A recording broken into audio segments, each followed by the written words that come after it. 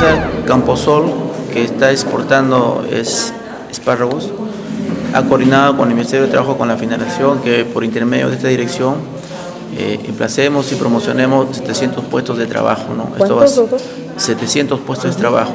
Esto va a ser en la ciudad de Chao. Y la empresa también estando como beneficio que le va a pagar su alimentación y también su hospedaje. El, el, el, monto a ganar hay un bono de 20 soles este, diario aproximadamente, más el avance. Ellos pueden llegar a ganar de 20 a 50 soles es lo que ha manifestado la empresa. No solamente el Ministerio de Trabajo lo que es de la convocatoria, porque ellos nos han solicitado. Quien hace los contratos, todos son ya representantes ya de, de Camposol. No solamente el Ministerio de Trabajo, a pedido de ellos estamos convocando. El día 27, día 29 es la presentación del, personal y al día siguiente inmediatamente ya van a firmar su contrato correspondiente. ¿A dónde deben acudir a escribir? Acá, este... acá al mismo auditorio, el día este 27 y 29 en horas de la mañana. ¿Qué requisitos debe presentar? Tener este DNI y juntar un currículo este, vitae actualizado y de edad de 18 a 40 años.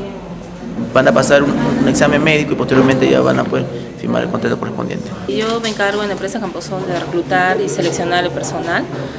Eh, abarca personal empleado, obrero. ¿no? En ese momento estamos buscando personal para la planta industrial y dentro de la cual pues hay un conjunto de actividades, ¿no? donde está el pelado del espárrago, la clasificación del espárrago, el envasado, también las conservas de pimiento. Así que el día 27 de septiembre y el 29 de septiembre estamos acá en el auditorio a las 8 y 30 de la mañana del Ministerio de Trabajo para poder atender a todas las personas que estén interesadas en postular. El requisito es tener 18 años cumplidos y a partir de los 40 años hasta los 50 con experiencia, ¿no? con experiencia laboral. Entre los 18 y 40 años no es, eh, no es necesario tener experiencia, la empresa los, les va a enseñar a realizar el trabajo, pero aquellas personas de 40 a 50 años sí necesitaríamos que ya tengan alguna experiencia en alguna planta industrial o que ya hayan tenido facilidad o algún ritmo de trabajo en una empresa. En otras ocasiones hemos venido, pero no habíamos solicitado el, el apoyo del Ministerio de Trabajo. ¿no? El, el, hecho de que nosotros estemos acá eh, y que el Ministerio de Trabajo haya accedido a, a, brindarnos su apoyo a través de la Oficina de Proempleo obedece a justamente una nueva política que tiene el gobierno de, de que el Ministerio de Trabajo no solamente hace una labor fiscalizadora, ¿no? sino que además promueve el empleo en aquellas personas pues, que lo necesitan.